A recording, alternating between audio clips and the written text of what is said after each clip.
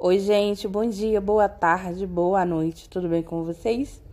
Espero que sim, se não tiver, vai ficar, se Deus quiser e Ele há de querer, isso não resta dúvidas.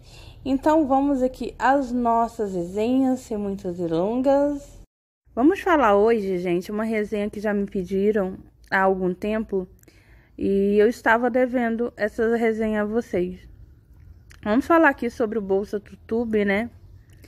Sobre o Bolsa YouTube. O que, que significa isso, Mica, gente? É, vou começar pelo comecinho. Essas youtubers, né, essas pessoas que estão ganhando muito dinheiro aqui na, na plataforma. Não tô falando de quem tá ganhando pouco, não, gente. Quem tá ganhando muito, muito mesmo. E essas mulheres ostentam demais. Não, gente, não é, não é pecado você tá melhorando de vida e você melhorar teu padrão de vida de maneira nenhuma. Mas o problema dessas pessoas são que eles ostentam e não lembram o dia de amanhã. Não respeitam os escritos, não são gratos aos escritos. Eu, eu já falei várias vezes aqui no canal e vou falar de novo. O YouTube precisa do inscrito, mas o inscrito não precisa do YouTube. É igual o vendedor, gente. O vendedor, ele precisa do cliente, mas o cliente não precisa dele. Por quê? Porque ele tá com o cliente está com o dinheiro. O cliente pode pode comprar o que ele quiser no cartão de crédito ou em dinheiro mesmo. Não é verdade? Assim é o YouTube. Eu vejo essas YouTube, gente eu vou dar só um exemplo. É a Juliana, a Juliane Jacoski. Pra que mulher mais soberba do que aquela? Gente, pra quê? E é pessoas que vêm lá de baixo, sabe? Que não tinham nada. Nenhuma bicicleta velha para usar.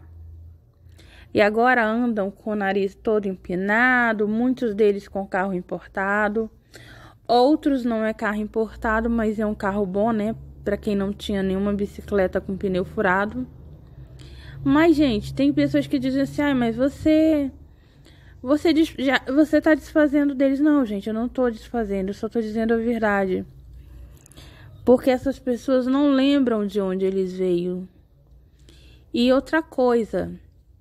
E essas pessoas que estão ganhando bastante dinheiro, vá um inscrito pedir para para ela divulgar, para ver se ela divulga. Ela não divulga não, mas pague que ela divulga. Sempre é assim. A pessoa pagando, elas fazem. E, e se não falar em dinheiro, elas nem visualizam sua mensagem. É errado, muito, gente, muito, que o YouTube não permite, a plataforma não permite que a pessoa faça faça divulgação. Elas fazem de teimosa que são, né? Porque sabe que para muitas coisas não tem, não tem lei, né? É, é complicado, gente. Muito complicado. E outra coisa, não esquecendo. E se, gente, se enchem de filho.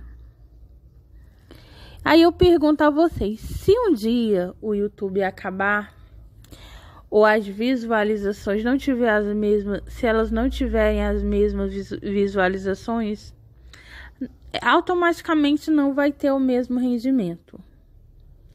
O que que essas pessoas vão fazer? Vão surtar, né? Porque estão ganhando dinheiro bom, sentado na cadeira, é, ou dirigindo um carro, ou na piscina, ou comprando alguma bobagem em mostra e as pessoas ficam babando. A maioria não tem conteúdo nenhum. A maioria acha que os inscritos que fazem o favor eles quem faz, desculpa, gente. A maioria acha que depois que tá ganhando dinheiro e tá famosinho, eles acham que os inscritos são descartáveis, acham que pode fazer e acontecer com os inscritos e simplesmente os inscritos estarem sempre lá batendo palma. O inscrito não pode dar uma, uma como é que a gente chama, gente, uma crítica nem que seja uma crítica construtiva, né? Que eles já vão abrir vídeo chorando, já vão com aquele mimimi. E os maridos também, né, gente? Sempre apoiam esse tipo de coisa. Por quê? Porque para eles são muito cômodo. É muito bom, né, ganhar dinheiro sem fazer nada, só mostrando uma um pedaço de pão, né, uma uma xícara de café, como elas fazem. Ai, Jesus, é, é complicado, gente, é complicado. E são, olha, são extremamente soberbas. Sabe por quê? Porque algumas delas que vêm me chamar no Instagram são extremamente arrogantes, sabe, gente? São pessoas assim extremamente mal educadas, vamos falar logo isso. E vem como se quisessem mandar em mim, sabe? Só que não.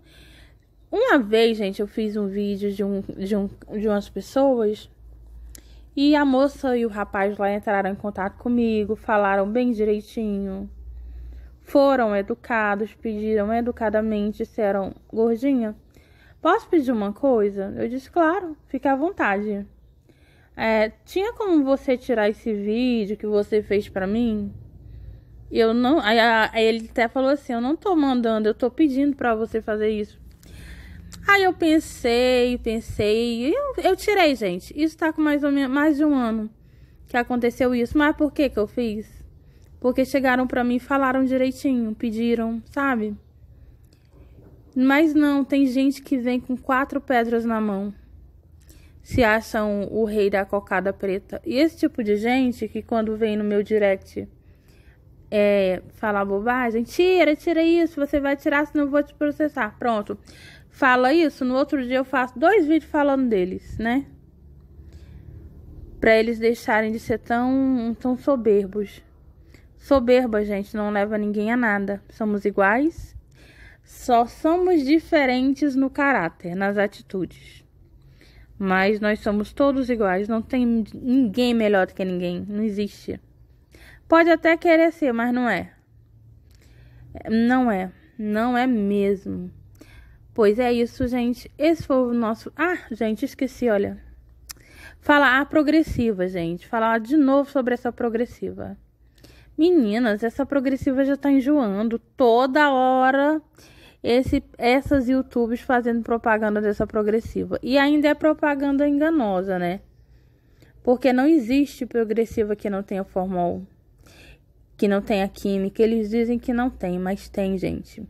E vocês não caiam dessa, não vá prejudicar seu bebê por causa de uma coisa banal. Você que tá bem, tudo bem, faça. Mas você que tá amamentando, tá gestante, não faz isso não. Deixa passar por deixa passar essa época. Aí você você dá um jeito nesse cabelo, né? Principalmente também com a pandemia e lembrando, gente, que tudo que alisa cabelo tem química, tá? Fica a dica. Gente, terminando aqui esse vídeo, beijão e até o próximo vídeo.